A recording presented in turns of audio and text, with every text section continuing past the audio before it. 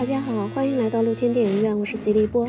今天给大家介绍这个片儿，是讲一个父母早逝，在修道院长大的丑陋少女逆天改命，逆袭成为女王的故事。这不是玛丽苏网络小说哈，也不是青春励志片儿，而是发生在欧洲历史上的真人真事。这个逆袭少女就是16世纪欧洲最有权势的女人，左右法国政坛几十年、毁誉参半的毒舌皇后凯瑟琳·德·美第奇。本剧片名就叫做《毒舌王后》。本剧烂番茄评分一百分，值得一看。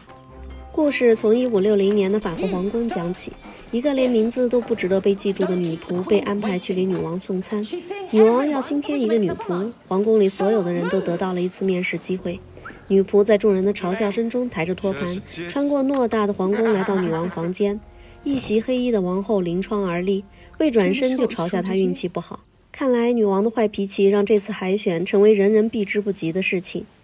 女仆局促地放下东西，刚想走，女王就问她名字。她支支吾吾地说：“大家都叫她东西。”女王立刻感受到她境遇不佳，问她是否打算找回自己的名字。女仆却说自己打算忍气吞声，话语间透露着对命运的无奈。女王坐下，告诉她，她被选中了，在接下来的一周里负责陪自己聊天。因为她的境遇让自己想起曾经，女仆既惊喜又无法理解，尊贵的女王怎么会跟自己的境遇相同呢？而她的怀疑让女王突然有些生气，讽刺她连个名字都没有。她终于鼓起勇气说自己叫拉西，这是个好的开始。女王说自己曾生活在孤独恐惧中，关键是如何在这种命运中拯救自己。拉西说自己会选择忍气吞声地原谅那些施暴者。这个回答让女王感到耳目一新，心想，与其跟他说道理，还不如给他讲个故事呢。于是，女王打开了话匣子。女王出生在欧洲的一个贵族家庭，但厄运缠身。她刚出生，父母就相继染上梅毒死了，领养她的奶奶也在几个月后去世。于是，从襁褓中就开始辗转在各个修道院里长大。一五三六年，已经是少女的凯瑟琳，长相平平，身材矮胖。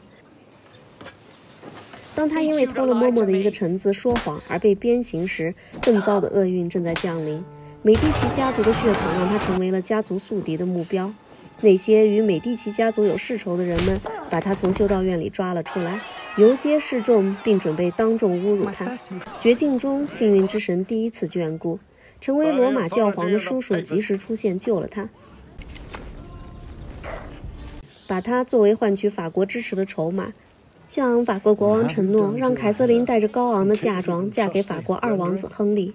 凯瑟琳想拒绝结婚，教皇叔叔挑着菊花上的脓疮，告诉他，如果不能得到强大的法国支持，那么作为美第奇家族的一员的凯瑟琳和自己都会被反对者吊死在广场上。所以这道选择结婚或死亡的单选题，答案不言自明。这席话让凯瑟琳明白，温柔和同情都只是顺境中的恩惠。财富和权力才是逆天改命的良药，而且两者不仅仅来自血统，更来自运筹帷幄。然后就是被当众验身，完璧之身是第一个条件。第二件事就是如何把相貌平平的凯瑟琳打扮成美女。一通全方位、多角度的突击学习后，长相平庸的凯瑟琳还是无法达到惊艳的要求。他向叔叔提出，既然自己的长相无法达标，那就让自己身上穿戴的珠宝达标，让华丽的外表来掩饰平庸的自己。主教叔叔表示赞同，于是力排众议，追加投入，开启了第二轮不计血本的设计。选择陪嫁者时，凯瑟琳选择了逃避家暴的药剂师女儿，擅长勾引男人的异教徒美女，曾经的熟人侏儒修女，会预言未来的江湖术士。看着凯瑟琳选的这群乌合之众，主教叔叔不得不告诉她不要自作聪明。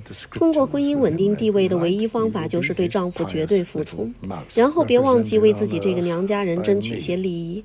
但凯瑟琳更关心的是自己的嫁妆是否准备妥当。一切准备完毕，打扮得像个珠宝娃娃一样的凯瑟琳被装在一个金蛋轿子里抬到了法国皇宫。轿子里如同闷罐，加上厚重的珠宝服饰，让凯瑟琳汗如雨下。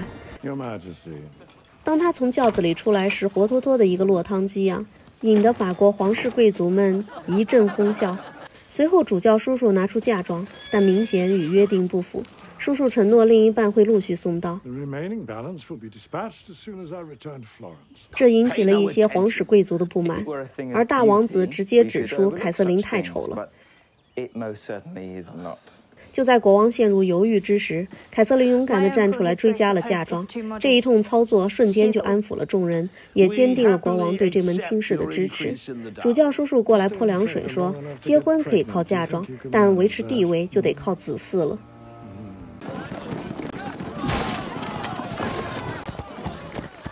当凯瑟琳见到亨利王子时，少女坠入情网。亨利身边有一个关系不一般的女人，她同时也是凯瑟琳的远房表亲戴安。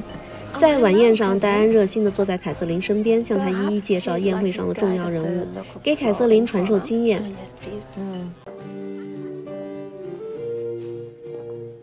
经过短暂的舞会，在烟火声后，凯瑟琳被带去更衣，然后在王室成员的众目睽睽中。与丈夫亨利现场表演了新婚燕尔。回到房间的凯瑟琳发现丈夫并没有跟过来。当她折返回去时，发现亨利已经倒在戴安的怀里缠绵着。原来戴安是亨利的情妇，这令凯瑟琳崩溃至极。故事讲到这儿，女王告诉女仆，自己那晚上学到了一件很重要的事儿。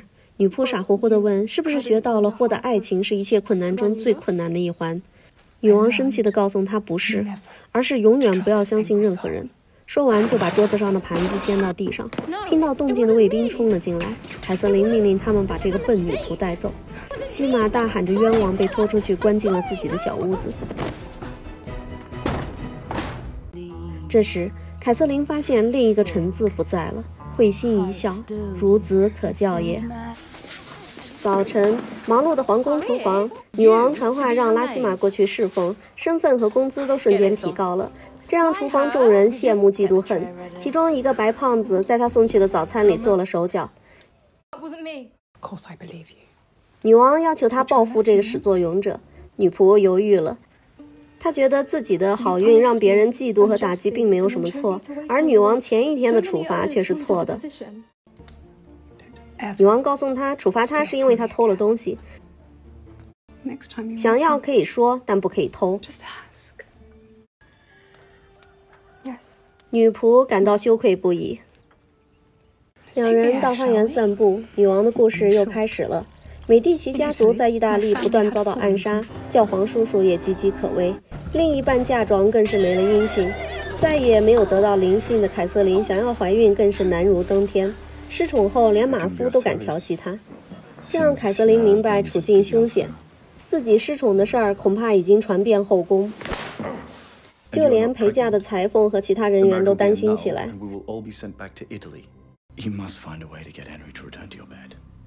凯瑟琳安排侏儒偷偷烧掉带血的裤子，来装作若无其事。表亲戴安则是一副赶尽杀绝的架势，他买通侏儒，掌握了凯瑟琳的例假期和身体状况，想方设法的在容易受孕的时间把亨利缠住。交换条件就是把侏儒介绍给有特殊嗜好的大王子。其他人也没闲着，术士给凯瑟琳找了一瓶助孕的药膏。裁缝督促着凯瑟琳主动去找亨利求欢。异教徒女佣爬上了国王的床，结果在床幔上发现了一张嘲讽国王的纸片。信奉天主教的国王认为纸片是新教徒干的，御前会议上提出要惩罚新教徒。大臣却建议与亲新教的普鲁士国王联姻，以此缓解两个教派之间的冲突。趁机递上了两个美丽公主的画像。除此之外，苏丹也是令国王头痛的事儿。这时，主教叔叔的死讯传来，大臣们马上就提起了凯瑟琳还未给齐的嫁妆，以及一直未受孕的状况。国王询问是不是自己儿子亨利不给力。凯瑟琳选择隐瞒事实，维护亨利，这令软弱的亨利大为感动。接着，凯瑟琳称自己也许已经怀孕了，促使国王推迟了废婚的决定，暂时观察一下。朝会后，亨利向凯瑟琳表达谢意。作为回报，亨利勉为其难地答应晚上去看他。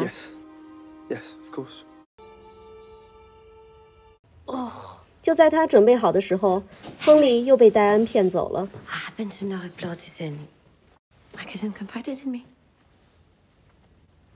异教徒仆人怀了国王的私生子，侏儒成功的巴结上了王子，只有凯瑟琳毫无办法扭转败局。戴安不失时机的在凯瑟琳伤口上撒盐，炫耀自己的胜利。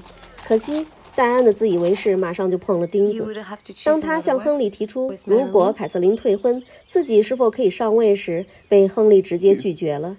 理由是戴安太老了，这让戴安彻底死了心。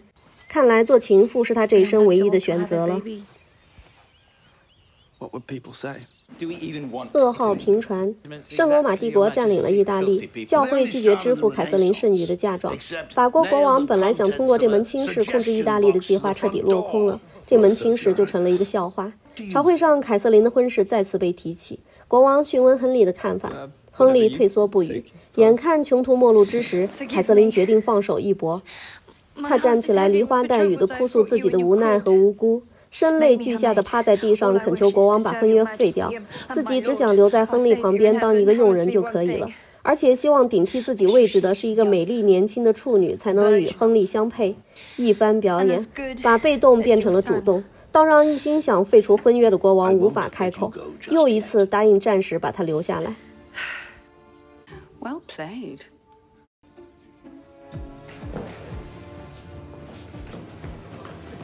凯瑟琳知道下一次就不会再有幸运之神降临了，当晚就横下心与马夫来了一炮。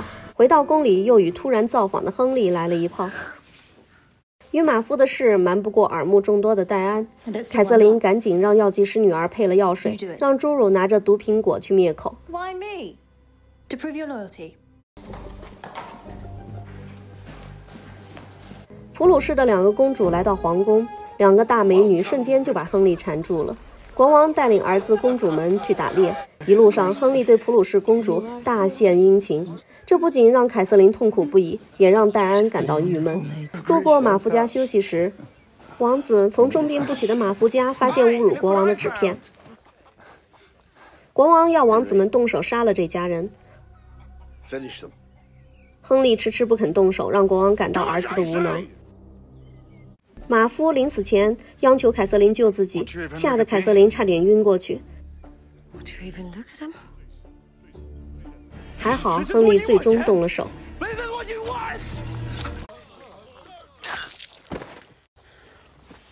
凯瑟琳又没怀上，她觉得自己不能坐等怀孕这一条路。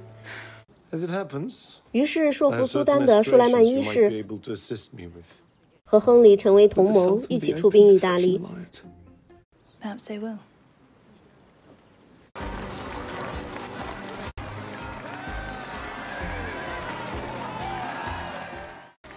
出征时，国王向凯瑟琳承诺，可以在亨利离开这段时间保护他。戴安则埋怨凯瑟琳让亨利去战场送死。凯瑟琳反唇相讥，如果亨利死了，自己则可以以遗孀的身份永远得到庇护和荣华富贵。而戴安则彻底失去了皇室里的地位。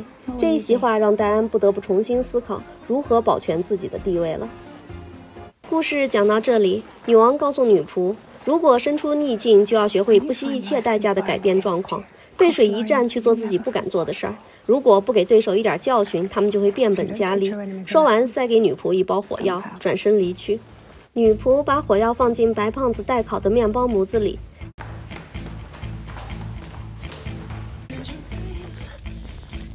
当女仆离开厨房，厨房里的爆炸声从身后传来。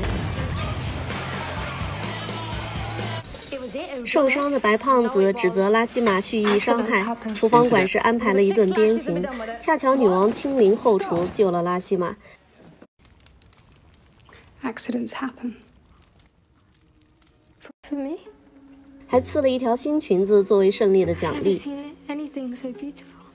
女王问女仆：“报复人的感觉是不是很棒啊？”一袭新衣陪在女王旁边，春风得意的拉西玛当然觉得很棒。在与帅哥暗送秋波的眼神被女王逮个正着。女王警告他别让爱情影响了判断力，坠入爱河的人最容易受伤。只可惜自己年轻的时候没有得到这样的忠告。女王回忆起几十年前的那个清晨，独自在树林里漫步，一封封来自远方战场上的书信让凯瑟琳几乎忘记了自己的处境。完全沉浸在亨利的情书中无法自拔，不知不觉来到了术士的小屋。恰巧术士也在，他告诉凯瑟琳：若有所求，必有所舍，代价随机，无法预测。这似乎在暗示那瓶助孕的药膏是以马夫一家的死亡为代价的。凯瑟琳不想听他瞎扯，刚转身就听到亨利凯旋的钟声，欢喜地飞奔回去。戴安也忙碌着精心打扮，整个皇宫里都洋溢着喜悦和期待。然而，凯瑟琳的期待马上就被现实击个粉碎。I see you brought my son back in one piece. Ah. I have someone to meet.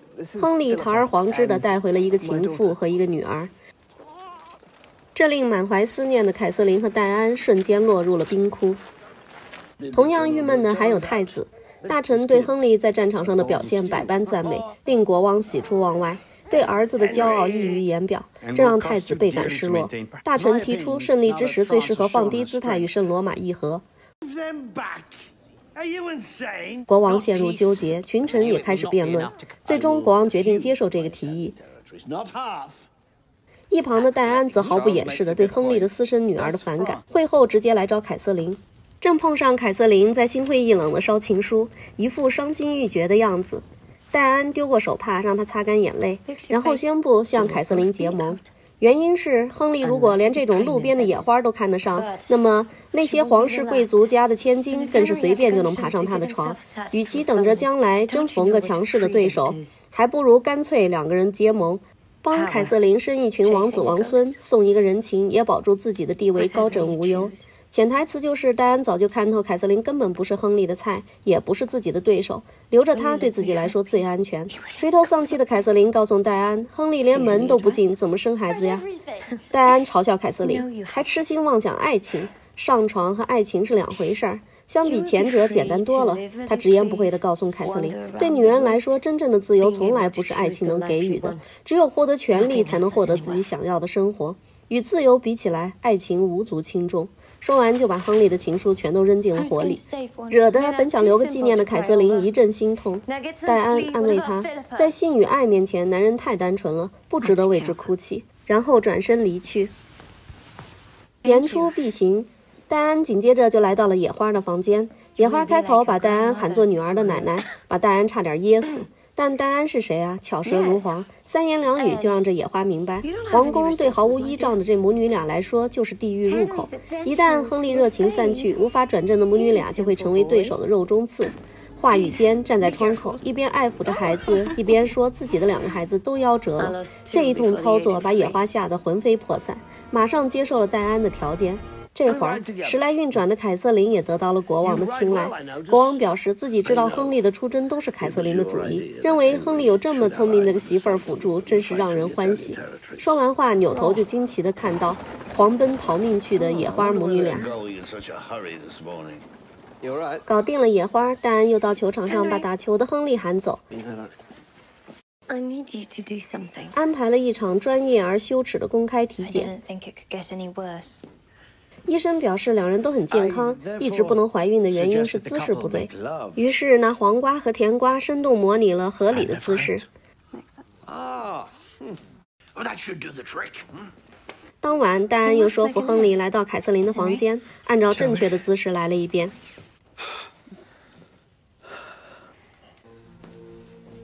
结束后，亨利坦言两人真是不合适的，然后提起裤子就走。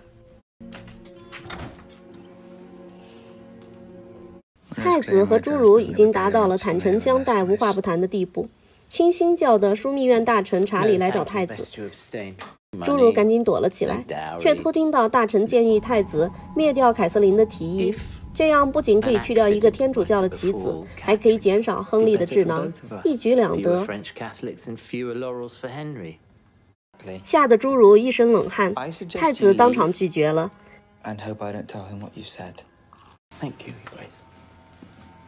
大臣一走，侏儒就想忙着去报信，被太子制止。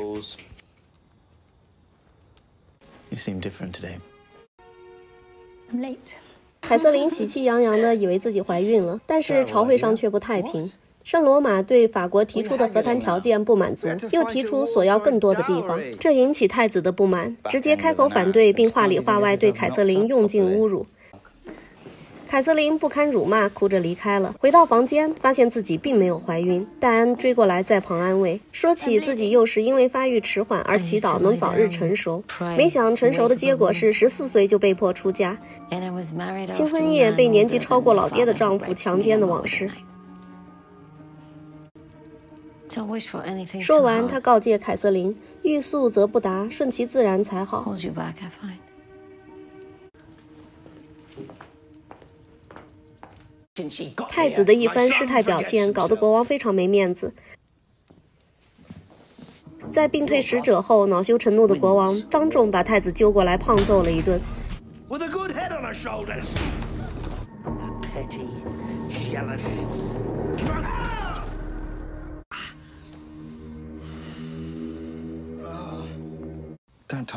满腹怨气的太子又把怨气都发在了侏儒身上，把侏儒轰了出去。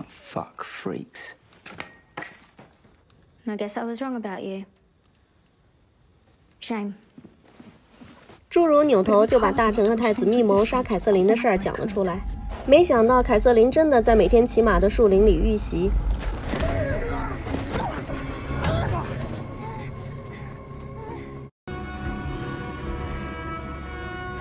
机智的逃脱后，被寻找而来的亨利解救。受惊的凯瑟琳抱着亨利痛哭，两人抑制不住真情流露，就地缠绵。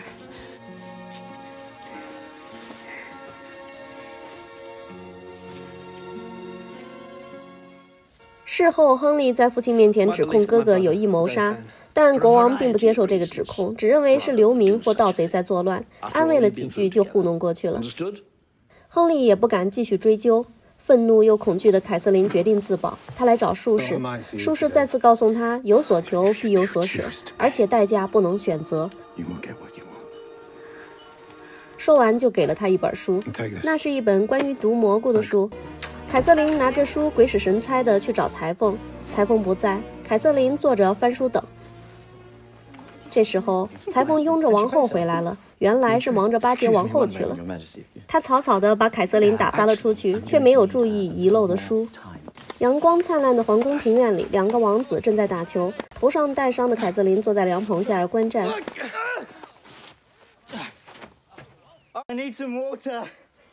凯瑟琳让裁缝给太子送上一杯水，太子喝了水，直接就倒地不起了。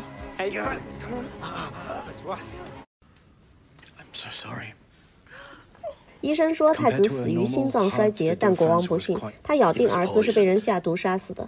大臣们窃窃私语，暗指与太子摩擦频出的凯瑟琳嫌疑最大，这让凯瑟琳惶恐不已。随后卫兵破门而入，裁缝被抓了起来，因为在他房间里搜到了那本有关毒蘑菇的书。裁缝央求凯瑟琳救自己，大臣则警告凯瑟琳，这事儿必须要有个顶罪者。凯瑟琳和裁缝二选一，凯瑟琳只好选择自保。这个选择令其他仆人顿感不安。国王最终与圣罗马达成了协议，大臣在旁安慰国王，圣罗马不会谋害太子。国王表示不屑，接着大臣表示自己的忠诚，国王嘲笑他满嘴谎言，然后直接把他给辞退了。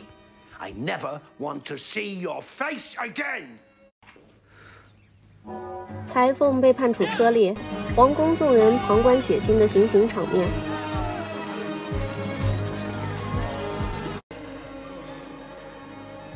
凯瑟琳无法忍受，跑回屋里呕吐。药剂师女儿告诉她，这就是和术士交易的代价，并恭喜凯瑟琳终于怀孕了。双喜临门，亨利荣升太子。故事讲到这里，王后带着女佣在走廊里碰上了儿媳玛丽。玛丽的四个仆人也都叫玛丽。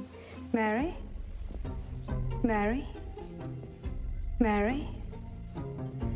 凯瑟琳介绍，玛丽们正在为自己死去的儿子服丧，所以不能穿戴花哨的衣裙。玛丽满脸郁闷，嘴上答应着，眼里却盯着做给自己的衣裙穿在女仆身上。当凯瑟琳走远。玛丽告诉自己的仆人，绝不能让凯瑟琳九岁的儿子登基，这样自己才是名正言顺的女王。女仆从一个人人可欺的杂役，一步登天，成为女王的专属女佣，穿锦衣住华舍，掩饰不住的春风得意。吃了瘪的白胖子恨得咬牙切齿，声称玛丽继位之时就是自己报复之日，并且诅咒拉西玛和那个杀死亲生儿子的恶毒女人在一起，必定没有好下场。拉西玛再也不是软柿子了，一句有意见找女王，就把白胖子吓得闭了嘴。见到女王，内心隐隐不安的拉西玛张口就开始问：谁会继位？玛丽会怎样？玛丽的国王丈夫为何会死？这一堆问题刺痛了女王的心。女王喃喃说道：“丧子之痛刻骨铭心。”在亨利继位太子之后的十年里，凯瑟琳一共怀孕了十次，生了九个孩子。拥有苏格兰王位继承权的玛丽自小就和儿子订了婚，像女儿一样养在身边。这个家庭畸形又祥和，戴安和凯瑟琳各司其职，互不干涉。但一切都在第十个孩子的难产后戛然而止。由于胎位不正，医生只有切下孩子的一只胳膊，才能将孩子从产道拉出来，所以孩子一降生就死了。这个悲剧使凯瑟琳受到很大打击，整日把自己关在房间里，日渐沉沦。Not to mention my sanity. 陪嫁女佣们再也看不下去了，逼着她出门走走。女佣们在一旁聊起往事，裁缝的死和术士的离开。现在的一切都是付出惨痛的代价才得到的。凯瑟琳如何能放得了手？于是振作起来，来到花园。戴安客气地邀请她坐下。凯瑟琳问亨利能不能来陪陪自己，亨利答应下来。孩子们也冷漠地站在一边，这一切深深地刺痛凯瑟琳，显现得她的出现多么不合时宜又多余。于是凯瑟琳转身默默离开。国王日渐衰老，肠胃不举而忧心。床帝的烦恼其实来自对儿女的担心，这让情人也想到自己未来的凄凉，于是一肚子委屈地把国王数落了一顿。大臣换了一批又一批，新教和天主教越发的水火不容。把持天主教会的吉斯家族没收了新教贵族的舍农索城堡，波旁家族及时的拉拢新教贵族，在国王面前对吉斯家族提出投诉，认为天主教会这样乱搞会引起一大批有财富的新教贵族的不满。两家的争吵让正在吃早餐的国王气得喷饭，站起来把双方都骂了个狗血淋头。然后让红衣主教让出一个城堡给波旁家族以示安慰。吉斯和波旁两家矛盾升级。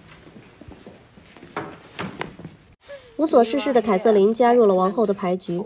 牌桌上不是寡妇就是弃妇，聊着家长里短的小道消息。他们希望凯瑟琳能永久地加入这个小俱乐部，一边感叹凯瑟琳竟然能为男人生十个孩子，简直是疯了。凯瑟琳看着这一桌子的老太婆，仿佛看到了自己的未来，满身心的抵触。王后张口嘲笑凯瑟琳：“别以为你的苦难有多么了不起，多么与众不同，你的自怨自哀只能说明耐受力更差而已。”然后王后提起自己被当作信物一样交换给法国国王时，就已经知道这是一生的折磨。作为最后的坚强，自己死也不会爱上一个被迫驾驭的男人。暗示对爱情还抱有幻想、拒不接受现实的凯瑟琳显得很幼稚和愚蠢。凯瑟琳强充面子，称自己的婚姻很幸福，这让众人大呼不幸。凯瑟琳生气地起身离开。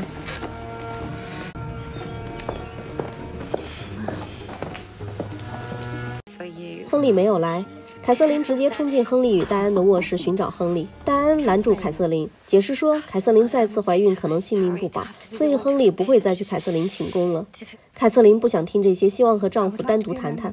戴安振振有词地表示，为了成全凯瑟琳生孩子，自己已经忍受那么多年，现在不想再和凯瑟琳分享亨利了。这话令凯瑟琳愤怒之极，她向戴安吼道：“自己才是亨利的妻子。”戴安嘲笑地说：“对呀，用来生孩子的妻子。”然后盛气凌人地向凯瑟琳宣布：“亨利是自己一个人的。”凯瑟琳走到自始至终一言不发的亨利面前，满眼哀求地看着亨利，等来的却是亨利冷漠地表示自己就想待在戴安的身边。凯瑟琳悲愤交加地落荒而逃，她觉得自己的生命正在这皇宫里无谓地消失殆尽。绝望之时，只有老国王没有忘记这个儿媳妇儿，处处照拂。老国王在一次狩猎中体力不支，从马上轰然倒下。病榻上的国王召见凯瑟琳，他告诉凯瑟琳，所有的人都想在自己驾崩后谋得权力，但他只看好凯瑟琳。他请求凯瑟琳无论如何都不要因为戴安而放弃亨利。亨利太软弱了，他需要一个坚强而有头脑的妻子。然后告诫凯瑟琳，对付波旁和吉斯两家，权宜之计就是不偏不倚。当其熬成王后之日，就是苦尽甘来之时。说完后，老国王又把亨利叫过来，交代他一定要凯瑟琳进入枢密院。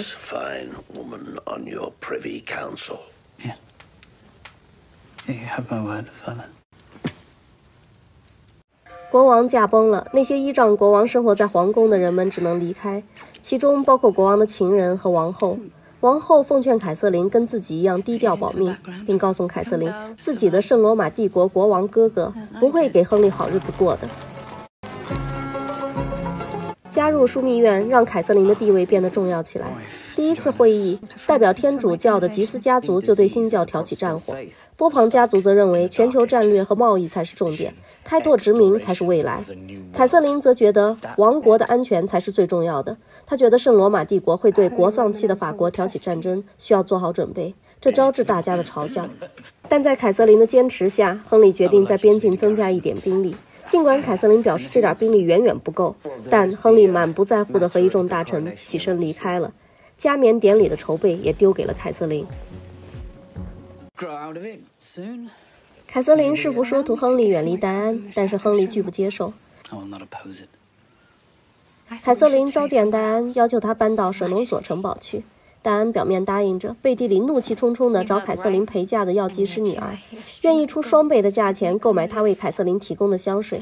重金诱惑下，药剂师女儿拿出一瓶号称能让青春永驻的药水给戴安服下。加冕典礼，戴安跟亨利穿着情侣装，让凯瑟琳看起来如同是多余一般。就在典礼上，圣罗马帝国的信使送来了边境守卫军的人头。故事讲到这里，王后依然沉浸在愤怒中。她说自己那天学会了另一件事，就是永远不要低估自己的对手。这时，门外送来一封信，女王坐下认真阅读，看着女王表情凝重，女仆问发生了什么。王后把信拿给女仆。女仆惶恐地说自己不识字，随即抬着餐具离开。路上碰到了卫兵队长，女仆马上向他哭诉，说有卫兵裸露不雅调戏自己，声称冒犯自己就是在轻视女王。于是队长把两个经常调戏拉西玛的卫兵喊来，女仆要求检查作案工具，队长命令他们当众脱下裤子给拉西玛检查。女仆瞟了一眼，表示活儿太小，不是他俩。转身带着一脸快意恩仇的满足离去了。回到房内，拉西玛拿出放在枕头下的圣经读起来。看起来这个拉西玛也不是一个简单的人物啊。女仆看着女王闷闷不乐，询问原因。女王说：“玛丽勾结表亲英格兰女王，试图推翻自己。”说完，一脸真挚地请求拉西玛帮自己去玛丽房间搜查证据。并带有威胁地说：“如果自己失事，自己贴身的女仆也会陪葬。”拉西玛陷入纠结，忽然看见树林里有人影闪过，顿觉惶恐不安。女王却若无其事地接着讲起了故事。在亨利成为国王后，戴安无时无刻不绞尽脑汁地和亨利秀恩爱，这让凯瑟琳忍无可忍，继而非常想找到离去的术士。这时，亨利突然到访。他让凯瑟琳出任摄政女王，自己则要御驾亲征，迎战入侵的圣罗马大帝。凯瑟琳接受了摄政的工作。吉斯家的主教在背后骂骂咧咧，波旁家族也感到不满。戴安则是堂而皇之的跟着亨利出征了。凯瑟琳一边气恼，一边也暗自高兴，大权在握。谁知第一次枢密院会议，凯瑟琳就被来了一个下马威。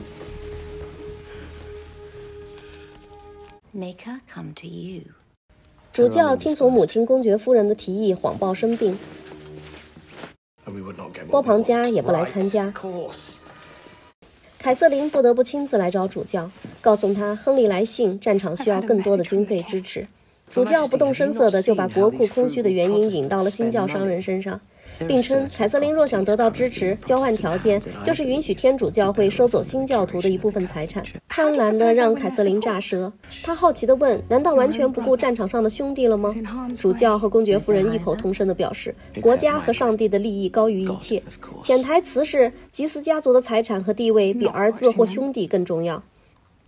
凯瑟琳又来到波旁家，正在和波旁家谈生意的新教商人赶紧告退。凯瑟琳坐下，波旁家的胖子就表示自己知道前方战事吃紧，波旁家出手筹钱的代价是把吉斯家的主教赶出枢密院，排除异己、垄断朝堂的目的不言自明。凯瑟琳怒不可斥地讽刺胖子就是个利用家族身份趁火打劫的小人。说完后起身离开。至此，凯瑟琳也明白。波旁和吉斯两家都不会帮自己，唯一可行的只有亲自拉拢同为平民出身的新教商人，破例让新教徒在最高法院列席。另一边，半价清真的戴安不仅贴身照顾，还经常在战术上提出建议。吉斯家的弗朗将军也在一旁献媚讨好的赞扬。但事实上，战事日渐艰难，已无法按时到位，士兵士气低沉。亨利准备亲自上战场鼓舞士气。戴安则在旁百般阻挠，认为保命最重要，让亨利陷入了犹豫。最后，弗朗将军只好独自上前线。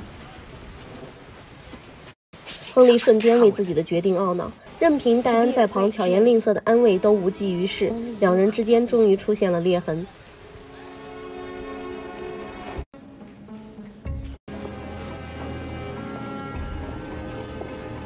凯瑟琳召开了一次筹款大会，会上慷慨陈词，对亨利国王的人品和此次卫国战争大肆歌颂，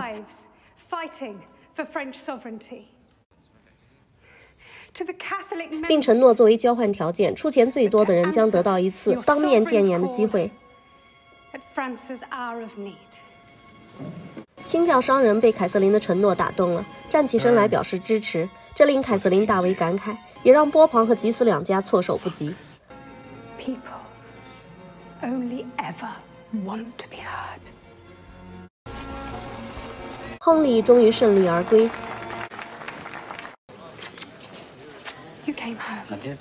迎接仪式上，花童却把花献给了弗朗将军。亨利敏感地认为自己在战场上的懦弱已经众人皆知了，愤怒着离开。生气的亨利把戴安拒之门外，一早就来找凯瑟琳一起出去骑马。受气的戴安又找药剂师女儿买青春药水，并干脆不惜重金，还以身相许，彻底把药剂师女儿招入自己麾下。凯瑟琳又赢回了亨利的爱。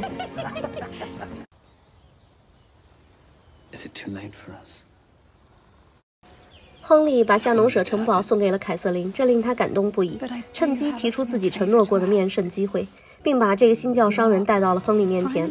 新教商人上来就诉说自己被吉斯家族没收财产，又被波旁家族敲诈的事儿，越说越激动，最后开始抨击王权和制度，声称如果平民的权利、财产得不到保障，那么迟早会把国王和众贵族的脑袋插在木桩上示众。听得一众人等脸色煞白。戴安更是愤怒地站起来维护亨利，没想到被直指情妇当道、婊子误国，顺带手就把亨利也骂成用情不专的昏君，气得戴安当众拔出侍卫的匕首，割喉了新教商人。杀了人的戴安不仅没有被惩罚，反而重新让亨利回心转意，当众秀起了恩爱。一旁的凯瑟琳再次被打入冷宫。心灰意冷的凯瑟琳决定搬到亨利送给自己的夏农舍城堡去，躲开宫廷争斗。却不料正碰上鸠占鹊巢的戴安。戴安得意地告诉凯瑟琳，亨利已经把这里作为两人的爱巢，药剂师女儿也公开成为戴安的女仆。凯瑟琳只能沉住气，面不改色地转身离开。回城的路上，恨得咬牙切齿，巴不得把戴安碎尸万段。被老国王撤职的摩莫朗西将军落魄地在酒馆里碰上了术士。两人萍水相逢又缘尽客散各奔东西。出了门就碰上一个热心的新教商人。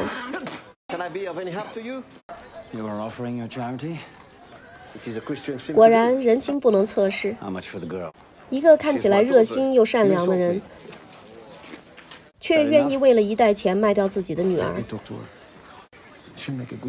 气得蒙莫朗西抽刀欲除之后派商人的女儿走来悠悠叹道：“此人再不堪也是自己的父亲，虽然无法选择出身，但可以选择自己的人生。希望蒙莫朗西放走父亲，带走自己。”正在洗澡的弗朗将军和男仆打情骂俏，母亲和兄弟破门而入。公爵夫人上来就讽刺将军儿子，一场仗打得何其无能，被戴安抢了风头，还差点送了命，把儿子直接。然后又扭头指责主教儿子，被凯瑟琳绕过，没有讨得半点便宜。看着一脸慌乱的主教儿子，公爵夫人给他支招：主教的侄女儿玛丽·斯图亚特有一颗对天主教执拗的心，只要利用她上位，就等于控制了王位。儿子忙着唯唯称是。女王说到这里，告诉女仆：人生总是一个危险紧跟着又一个，从不停歇。拉西玛当场表示愿意去搜查玛丽的房间。女王欣慰地对女仆朋友相称，并告诉拉西玛，只有变成狐狸才能发现陷阱，变成狮子才能对抗狼群。说完就故意屏退了拉西玛，转身招呼早已等待在一旁的玛丽一起走。拉西玛默契地趁机前往了玛丽的房间找证据。殊不知，女王没走出几步，就让玛丽的女仆去给玛丽拿件披肩，弄得玛丽一脸蒙圈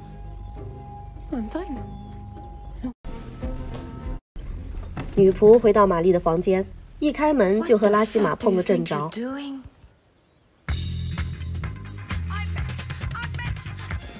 女仆被关了起来，女王的出现让她如获救星。可惜女王不是来救她的，仅仅带来些吃的。女仆直言自己是被女王陷害，女王马上否认。她告诉女仆，空口白牙就是诬陷，而且现在女仆处境危险，最好想清楚了，演好自己的角色才有得救。说完，就又开始讲起了故事。凯瑟琳终于找到了术士，迫不及待的就希望术士帮自己除掉戴安，并声称是为了国家。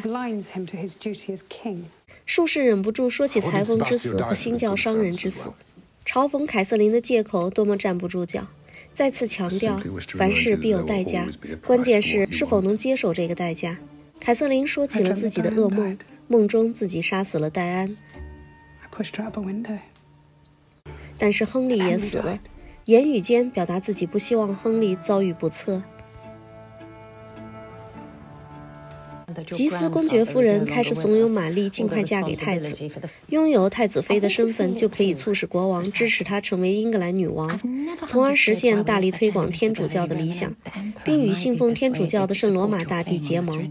她垂头丧气地表示，现在自己和太子还没有确定婚期。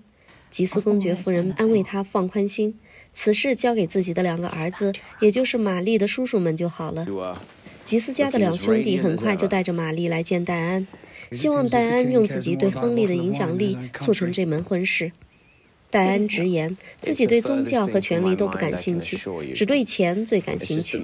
于是，在一通讨价还价后，最终以皇室婚礼的那一天，教会的所有钟塔的每一响声，两个金币的代价，买通了戴安的支持。either someone's getting married or someone's dead.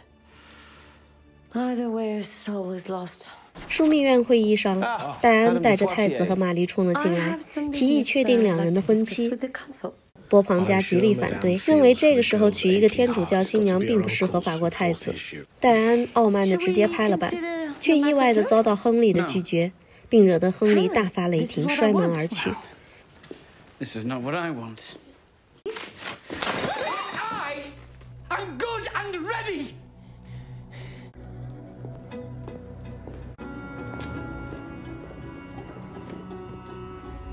不服气的戴安依然决定开始筹备婚礼。Not oppose me. 凯瑟琳来找正在生气的亨利。亨利认为，现在枢密院的两个家族都各自打着小算盘，没有一个人真正的为大局考虑。As it is. And 凯瑟琳提议找会蒙莫朗西，亨利答应了，并让凯瑟琳以国王的名义写信给他。under my name. 同时，凯瑟琳提出了阻止戴安筹备婚礼的办法。稍后，凯瑟琳就拿着亨利的法令来到波旁家，传达国王命令冻结一切庆典支出。波旁家很高兴凯瑟琳与自家站在一起。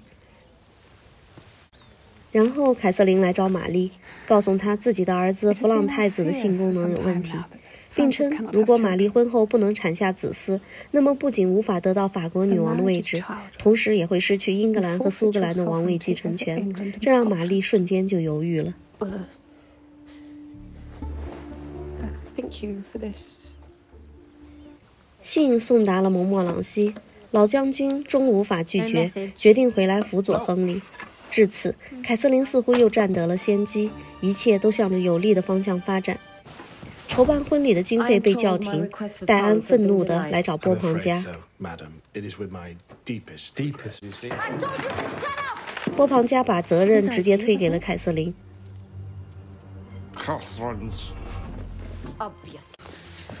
紧接着，玛丽又找上门来，哭诉太子有缺陷，自己不想结婚了。这让戴安愤怒的直接闯入了凯瑟琳的寝宫，当面指责凯瑟琳正在挑战自己的底线。凯瑟琳告诉戴安，自己并没有想跟他作对，这一切都是亨利想要的。戴安毫不在乎地告诉凯瑟琳，亨利就是个孩子，他不需要长大，他也不想长大，他永远是自己的，谁也别想改变这一切。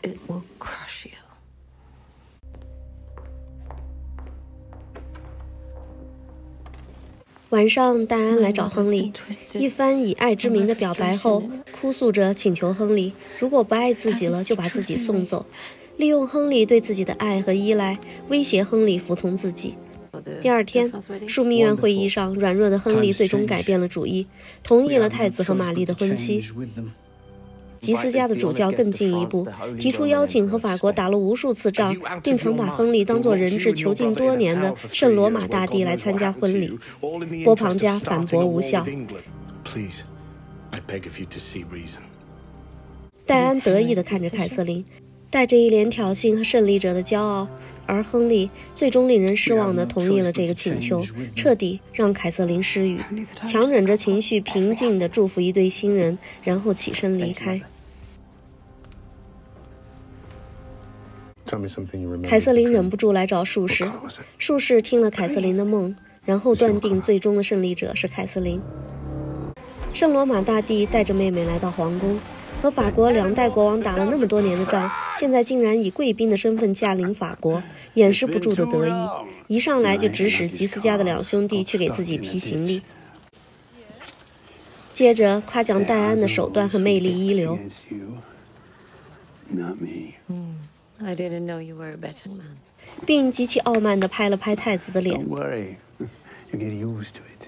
然后赞赏玛丽的野心和钦天主教的态度。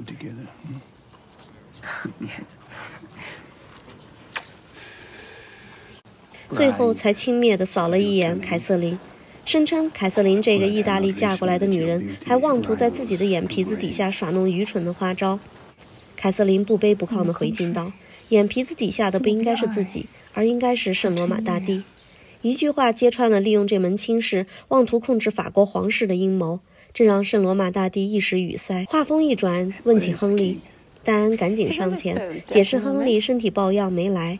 圣罗马大帝嘲笑地提起了亨利曾经被自己囚禁的惨样，话里话外一副胜利者的姿态。此时的亨利懦弱地缩在自己的房间里，这次的屈辱比战场上的那次更令人难以启齿。太子并不知道父亲的想法，被父亲召来，还满脸洋溢着即将新婚的幸福。亨利把儿子叫到身边，吐露肺腑之言。他警告儿子，婚后不要完全屈从于女人，一定要坚持自己。儿子不解地反问：“父亲不也屈从于戴安吗？为了爱而屈服，并不可耻啊！”一句话把亨利怼得无言以对。接着他得意地说：“全天下的人都知道，如果离开戴安，国王将失去方向，自己也会向父亲学习，用全部的服从来表达自己对玛丽的爱。”听完儿子的话，亨利屏退了他，眼里充满了绝望。他终于知道老国王所说，凯瑟琳将成为王室的救星。这时，蒙莫朗西来访，亨利一边猛灌着酒，听着曾经的导师将军说出不该同意这门亲事，以及不该邀请圣罗马大帝的谏言。如芒刺背，如鲠在喉。他何曾不知道这是天大的错误和耻辱呢？如果自己能够战胜对戴安的软弱，又何至于此？可谁能理解当初被作为人质关押在异国，从此失去母爱的那个小男孩，在极度孤独恐惧的时候，戴安给予了他所有的母亲般的情感，成为那么多年最不舍得放弃的习惯和安全感。亨利嘴硬着呵斥：“嬷嬷朗西，哪里来的滚回哪里去！”然后独自离去了。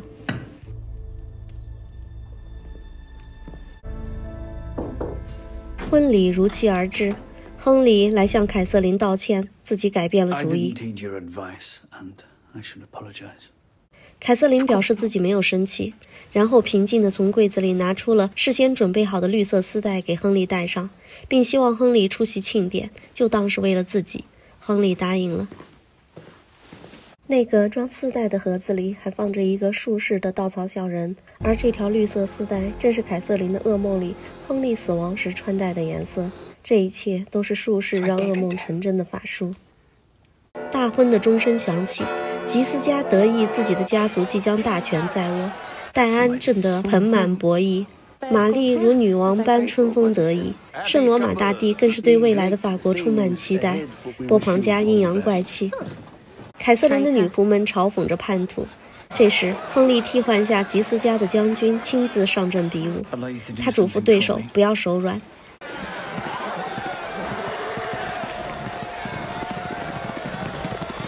在一趟冲刺后，再次要求对手尽全力攻击。就在此时。凯瑟琳忽然后悔了，她害怕失去亨利，嘱咐仆人传话给亨利，自己梦到过这一幕。如果亨利不停下来，就会死在这里。可这一切都无法阻止亨利的决心。他抬起头，注视着凯瑟琳，嘴角一扬，决绝的眼神仿佛在告诉凯瑟琳和所有人，自己并不是一个懦夫。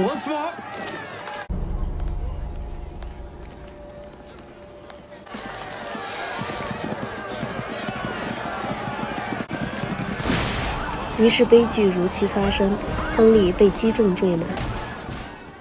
听到这里，女仆惊呼：“是女王杀了国王！”女王平静地感叹：“意外总是会发生的。”但女仆无法信服，直接指责女王就是心肠狠毒，而且自己完全是无辜的。女王看着女仆虚伪的表情，直言：“这里没人看起表演，何必装无辜呢？”说完就起身宣布把女仆的薪水减半，然后转身离去。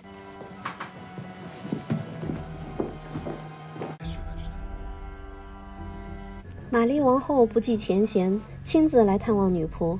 她让女仆也听听自己的叙述，再决定效忠于谁。女仆充满期待。玛丽开始了自己的故事。国王亨利伤得很严重，一根碎木锥扎入了他的眼睛，直刺大脑。亨利拉住蒙莫朗西，嘱咐他一定要保护好自己的孩子们，这令蒙莫朗西心碎不已。凯瑟琳终于可以名正言顺地把戴安挡在门外。He needs me. This is a family matter. 但即将失去亨利的绝望紧紧扼住了他的喉咙。他歇斯底里地质问亨利为何不听自己的提醒，去停止那愚蠢又致命的冲刺。凯瑟琳把爱人紧紧圈在怀里。亨利努力保持清醒。他告诉妻子，自己只愿成全她，成全她摆脱自己这个既不是合格的丈夫，又不是合格的国王，并感叹凯瑟琳错付真情。凯瑟琳痛哭流涕，悔恨和痛苦让她无法呼吸。她告诉亨利，自己的爱从未改变。亨利嘲笑凯瑟琳就是个傻瓜。而另一边，圣罗马大帝对亨利的重伤就是一句扫兴。眼神一瞟，玛丽忽然提出应该为亨利祈祷。这个提议深得玛丽的赞同，而且排斥了信奉新教的波旁兄弟，真可谓一箭双雕。波旁兄弟赶紧表态：信仰虽不同，效忠国王的心却是相同的。圣罗马大帝接过话题，称既然效忠，就应该赞同圣罗马帝国和法国的联盟，然后一起支持玛丽成为英国女王。说着就招呼大家向吉斯主教跪下祈祷。话里话外，意欲煽动玛丽对信仰的执着，借此掀起一场内部矛盾。这时，御医推门进来，向大家宣布无法取出那根致命的木锥。亨利病情很不乐观，这个噩耗令弗朗太子几乎晕倒。眼看这新王即将登基，吉斯家两兄弟马上表示效忠，波旁家两兄弟也不甘示弱地抢着效忠。王太后过来询问弟弟，干嘛要在这种时候搅局？这怎么说也算自己的家，真心不想看到他垮掉。圣罗马大帝满无所谓地说：“家人不就是用来霍霍的吗？”一句话让姐姐无语至极。凯瑟琳梦到初次见到亨利时的样子，醒来却发现病榻上的亨利不见踪影。循着声音找到一个热闹的宴会，所有人都在推杯换盏，觥筹交错。戴安热情地迎了过来，亨利正坐在席间饮酒。这荒诞的场面让凯瑟琳惊呆了，理智让她清醒过来，愤怒地吼道：“亨利需要休息。”但戴安一脸兴奋地说：“亨利已经好了。”努力装作若无其事地粉饰太平。这时，亨利站起来，口喷鲜血，随后倒地不起。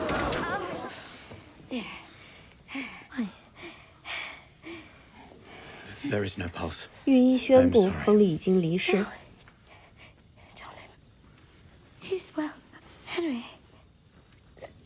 戴安才失声痛哭，迅速抬头向凯瑟琳示好。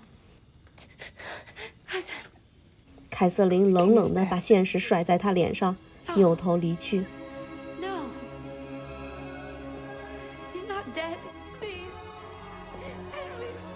亨利尸骨未寒，圣罗马大帝就密会了玛丽，声称弗朗二世和玛丽的继位是上帝的安排，也是天主教统一欧洲的契机，自己愿意与法国联盟出兵，先收复英格兰。这让玛丽兴奋不已。然后他嘱咐玛丽一定要坚持自己，不要被他人左右。玛丽一脸的坚毅，她把这番话理解为自己就是上帝安排的，代表天主教统一欧洲的救世君王。任何违逆自己的想法，都是违逆神的旨意，全然不质疑圣罗马大帝的意图。葬礼上，凯瑟琳悲伤地安慰着继位的儿子。圣罗马大帝竟然在葬礼上公开调戏凯瑟琳，言辞污秽，尽是侮辱，这令凯瑟琳恶心至极。求欢不成的圣罗马大帝对凯瑟琳吐露真心话，他认为凯瑟琳是目前皇室里最聪明的人。可惜不能掌权，自己对缺少一个势均力敌的对手深感遗憾。玛丽这个傻姑娘大权在握，对宗教狂热的执着，就像一个在谷仓里拿着火把疯跑的孩子。只要给他一把干柴，就可以把法国付之一炬。恰巧自己循循善诱，相信不日将大功告成。真希望老对手弗朗一世能看到此情此景。说罢，满心得意地离开。凯瑟琳看着众人离去，默默下定决心。他把朱儒安排出去调查蒙莫朗西，一场风暴即将来临。悲痛欲绝的凯瑟琳来找术士，声称当初术士承诺过不伤害亨利。术士直言，亨利一心求死，自己也没有办法。Yes, you did. The embalm has removed the king's heart. 说罢，拿出偷来的亨利的心脏，将其烧成灰或者水。凯瑟琳一饮而下。从此，亨利将葬在凯瑟琳的身体里，永不分离。戴安离开了皇宫。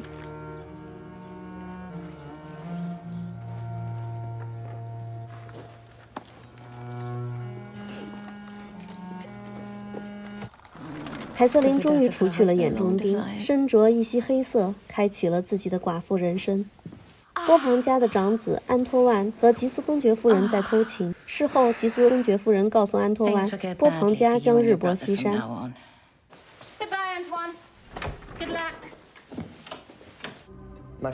果然，枢密院会议上，刚登基的弗朗二世就要求讨论与圣罗马帝国的结盟。波旁家认为结不结盟要看圣罗马帝国付出的条件够不够意思。吉斯家直言，此事就是走个过程。国王早已让人起草好了结盟书。波旁家生气地威胁，这个结盟会招来新教徒们的强烈抗议。玛丽王妃说：“那不正好吗？把新教定为非法宗教，把新教徒放逐或杀死就完事儿了。”此话一出，波旁家炸了锅。凯瑟琳也坐不住了，她警告儿子要理智一些。但是新国王显然对母亲的话置若罔闻。不仅如此，还当着众人指责母亲没有陪伴教育过自己，现在凭什么指手画脚？玛丽则傲慢地说：“现在可以给波旁家最后一个皈依天主教的机会。”吉斯家的主教马上补充：“但需要缴纳一笔巨款。”波旁家的胖子终于忍不住爆了粗口。弗朗二世当场宣布新教在法国违法，波旁家两兄弟被判处流放。安托万情急之下大喊：“自己怎么也算吉斯兄弟的后爹吧？”两兄弟脸色一黑，跳起来就和波旁两兄弟打成一团。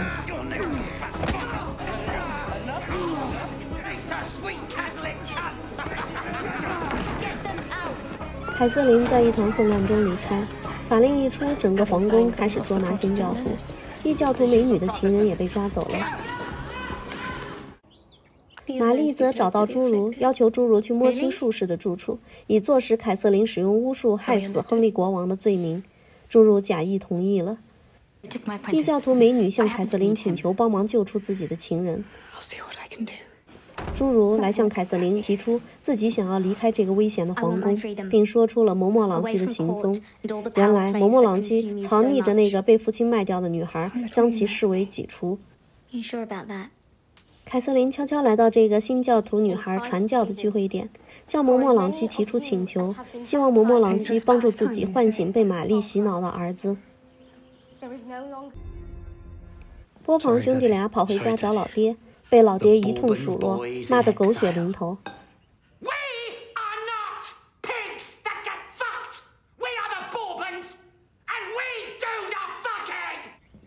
这时，忽然收到嬷嬷朗西的口信。当他们来到约定地点，凯瑟琳也在。凯瑟琳说出自己的计划：她把儿子从宫殿中骗出来，让埋伏在沿途的波旁兄弟带人将弗朗二世绑架，然后交给摩莫朗西进行说服教育，争取让国王找回理智，然后再安排新教徒将其救出，以增加国王对新教徒的好感。这个怎么听怎么不靠谱的计划却被波旁家族接受了。在没有别的任何办法的前提下，他们只能铤而走险试一试。于是计划敲定，开始实施。凯瑟琳让侏儒将新教聚会点的信息透露给玛丽。玛丽在枢密院会议上提出要围剿这个新教聚会点。吉斯家两兄弟反对，他们觉得对新教贵族进行清洗就够了，如果还要扩大到对平民也这样做，是吃力不讨好的，会让整个国家陷入混乱。但偏执的玛丽非常生气，她认为两个叔叔不仅在挑战自己的权威，还对异教徒表现出软弱和不坚定。凯瑟琳顺着玛丽的话提出，如果让皇族带队，那就可以向大家展示皇室扫除新教的决心。玛丽一听，大为开心，驳回了吉斯家带队的请求，决定由国王和自己亲自带队去。弗朗二世不顾自己虚弱的身体，坚持自己会亲自出马。国王的车驾在卫兵的保护下前进着，路途上是埋伏好的偷袭队伍。吉斯兄弟俩在车内谈论，偏执的玛丽已经完全不受控制了。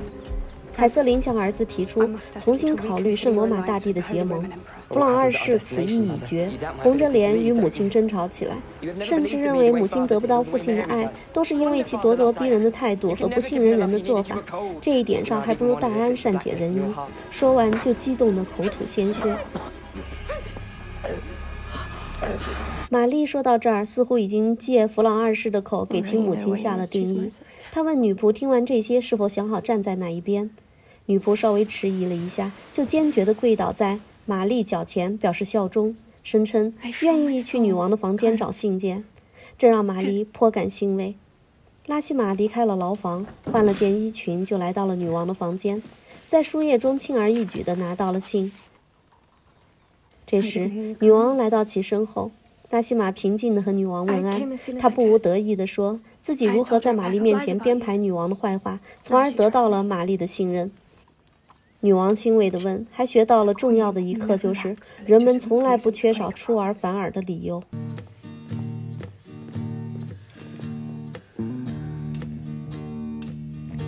拉西玛到树林找术士，术士递给他一个伪造的印章，平静地告诉拉西玛：“如何选择就由他自己决定了。”女仆回来后被女王召唤，女王问他是否想知道结局。拉西玛主动提出：“这次换成自己来说结局吧。”女王微笑着同意了。载着国王的马车渐渐靠近波旁家的劫持地点。和母亲激烈争辩后的年轻国王忽然口吐鲜血，病情恶化。凯瑟琳马上意识到儿子的病情可能扛不住这次绑架。作为母亲，她不想牺牲儿子的性命，于是近在咫尺之间，她大喊停车。眼看着埋伏的劫匪正在靠近，女王一边看向摩莫朗西，一边大脑高速地计算着所有的可能性。最终，她决定大喊。一时间，劫匪和卫兵乱成一团。摩莫朗西看了女王一眼，策马奔向树林。树林中的波旁兄弟发现埋伏已经暴露，瞬感不妙，扭头就跑。胖子很快就被弗朗将军抓住了。这时，摩莫朗西也追上了安托万，正欲拔刀灭口，被赶到的凯瑟琳制止。摩莫朗西不听劝阻，执意要把安托万杀掉。情急之下，凯瑟琳把摩莫朗西刺伤了。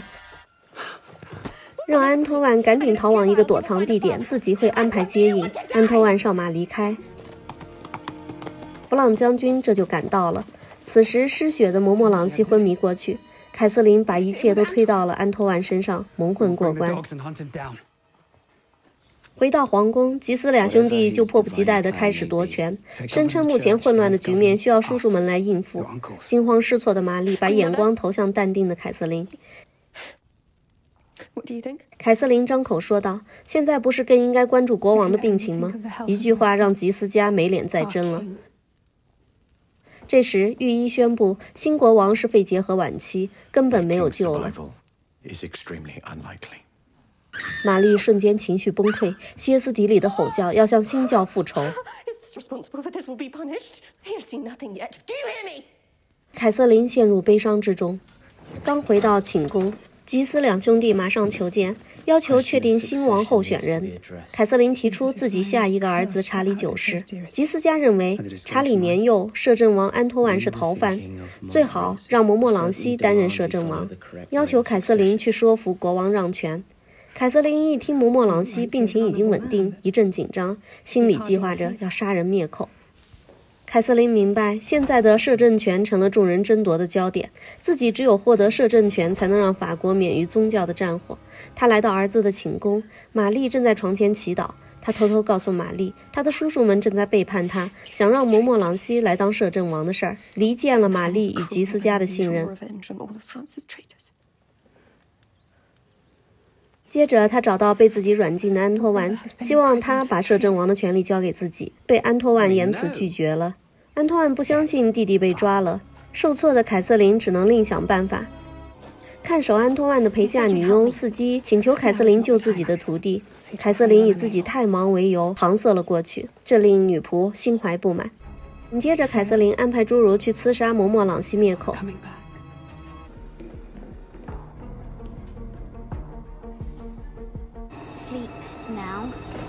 却刺杀失败。摩莫朗西离开修道院，想带着养女逃离法国，结果正遇上吉斯家两兄弟。他们以其养女为威胁，要求摩莫朗西担任自家的傀儡摄政王。摩莫朗西只能接受。摩莫朗西找到陪嫁女佣，以帮助救出他的徒弟为条件，得到了安托万关押的地点。想要获得摄政权的玛丽跟着凯瑟琳来到监狱审问胖子，要求他说出安托万的下落。胖子当然不知道了。于是凯瑟琳煽动玛丽砍下胖子的手指来逼供。胖子情急之下揭露是凯瑟琳谋划了一切。早有准备的凯瑟琳两句就驳了回去。最终，玛丽切下了胖子的手指。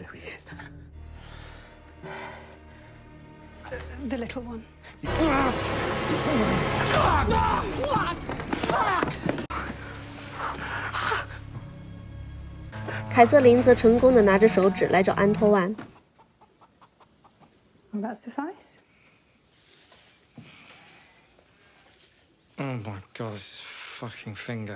这时，吉斯两兄弟和某某朗西推门而入，当场抓住了窝藏安托万的凯瑟琳。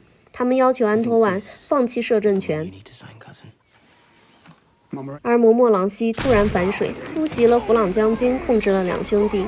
摩莫朗西不想当傀儡，他要求安托万在文件上签字，宣布摄政权他会交给眼下唯一一个可以救法国于水火的女人。You are the only one that can save France from any of these fucking idiots when they are in charge. 说罢，就把文件给了凯瑟琳。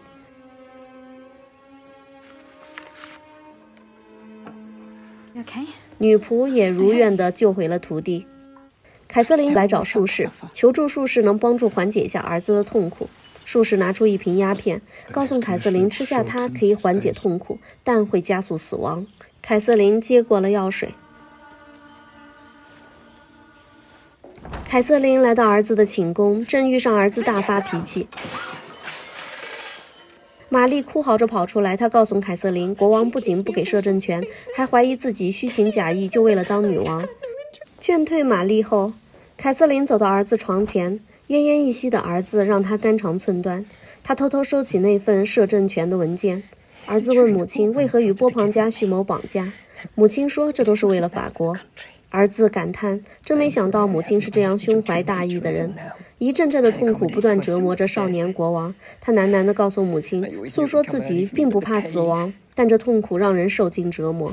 凯瑟琳流着泪拿出鸦片，对儿子说：“这能结束痛苦，但同时会结束生命。”在儿子的哀求下，凯瑟琳把鸦片给儿子服下。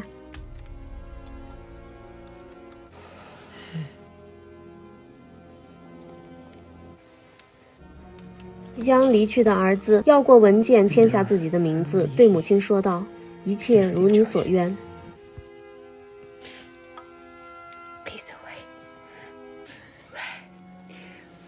波旁家的胖子被推上断头台。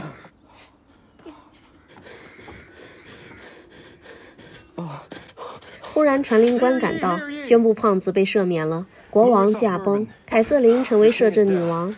玛丽这才明白自己被戏弄了，愤怒中宣布自己要联合英格兰女王一起推翻凯瑟琳。吉斯加表示支持。刚离开断头台的波旁家不置可否。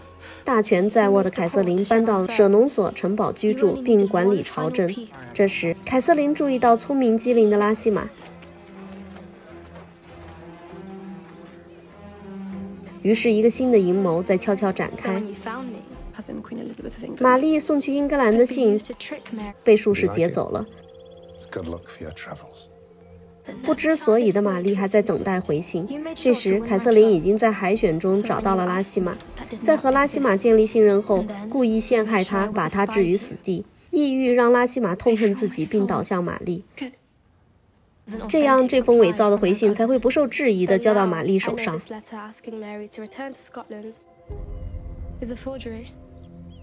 说到这里，女仆提起那个树林中注视自己的人就是术士。自己又找术士拿到了印章，所以才知道这封英格兰的回信是伪造的。原来女仆已经知道了底牌。女王会心一笑，问女仆到底会帮谁。女仆反问道：“女王牺牲了自己的好友、丈夫、儿子，就是为了获得权力吗？”女王平静地告诉他：“不是为了权力，而是为了自由。” freedom。女仆瞬间赞同地表示自己会支持女王。说罢，拿出一张纸条，上面是作为交换条件的头衔和财产。女王感叹：“受过教育的人真是可怕呀。”拉西玛则笑道：“说做自己的感觉真好。”信被拉西玛送到玛丽手上，玛丽对信上伊丽莎白愿意提供支持感到兴奋不已，毫不怀疑地接受了前往英格兰一同商议讨伐凯瑟琳的提议。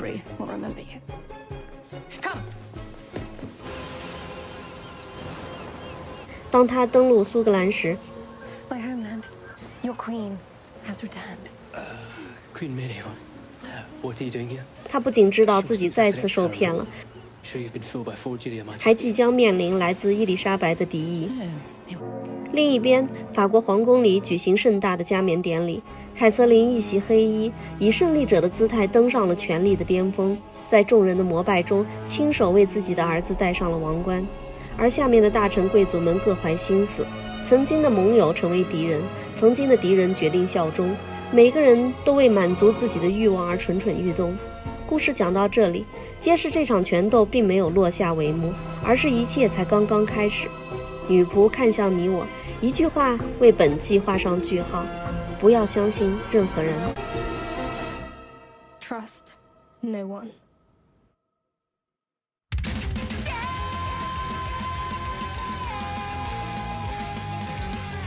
好的剧情就介绍到这里。总的来说，整季都很精彩，只是最后一集转折太多了一点，特别是对蒙莫朗西的人物构建有点力度不够。其实剧本想把他描述成一个重情重义、不计个人得失、忠君爱国的人，因此被凯瑟琳刺伤后还肯把摄政权交给凯瑟琳。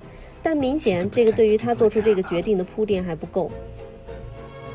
相比之下，波旁家的胖子的人物构建就要丰满很多，成为本剧比较成功的人物之一。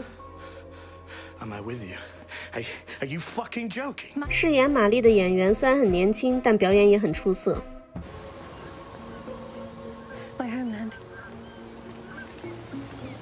本季最后这一句话真是意味深长啊！其实我理解呢有两层意思，一个呢是以剧中人的身份讲的，意思是在宫廷斗争中谁都不能相信，错综复杂的利益纠葛、性命攸关的权力斗争，相信别人的同时就等于把自己的性命交了出去。